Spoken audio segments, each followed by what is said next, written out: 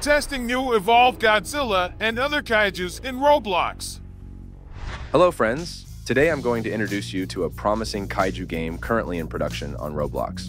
Throughout this video, we will explore the kaiju available as early access on the test server and the general structure of the game.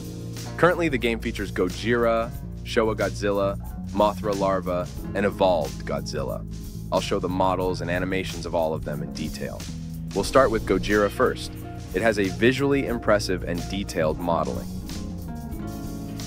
Gojira currently only has a left-click attack and roar, but even that shows the potential of the game.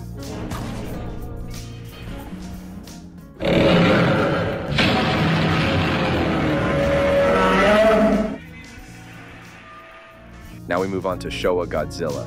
This classic kaiju's nostalgic design reminds players of the old Godzilla movies. Like Gojira, Showa Godzilla has left-click attack and roar abilities.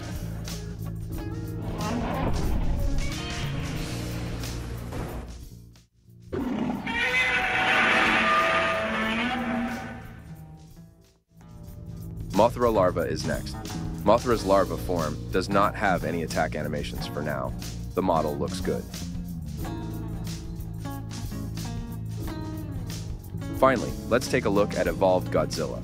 This character is currently only active with his roar ability, but he is sure to play an important role in the game with attack abilities planned to be added in the future. Evolved Godzilla's model and roar animation prove how much care the developers have put into this game.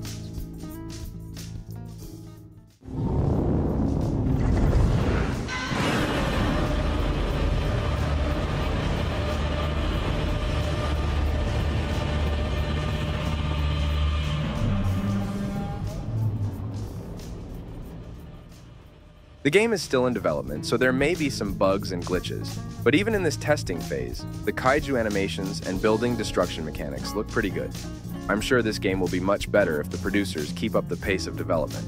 Most of the bugs you see throughout this video will be fixed when the full version of the game is released. Overall, we can say that the game is well on its way in development. Thank you for watching our video. Don't forget to hit the like button and subscribe to my channel if you like it. Feel free to leave your comments and suggestions in the comments. See you in the next video.